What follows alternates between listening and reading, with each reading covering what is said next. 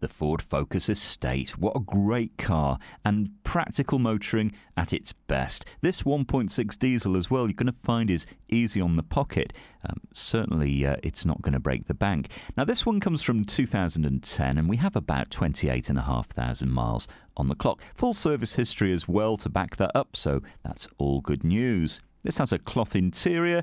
Uh, you're going to be very comfortable behind that wheel. And pop those back seats down. You've got a very useful load space.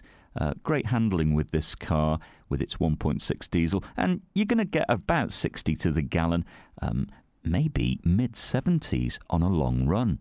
Now, if you're looking at this car thinking, that looks rather nice, or it'd look even better on my driveway, but not sure if it's quite within budget, have a look at our finance options. They're on the tab there. We do PCP on many of our cars or traditional HP finance on all of them. And don't forget, you can part exchange with pleasure. Come and have a test drive and discover this great car for yourself at Fords of Winsford.